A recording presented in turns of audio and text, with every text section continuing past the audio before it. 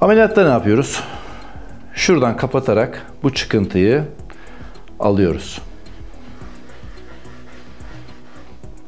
Artık burada kör sokak kalkmış oluyor. Bunun alınması bizim sağlığımızda herhangi bir probleme yol açmaz. Burası önemli. Ameliyat günümüzde artık e, kapalı ameliyatla gerçekleştiriliyor. Pek çok merkezde.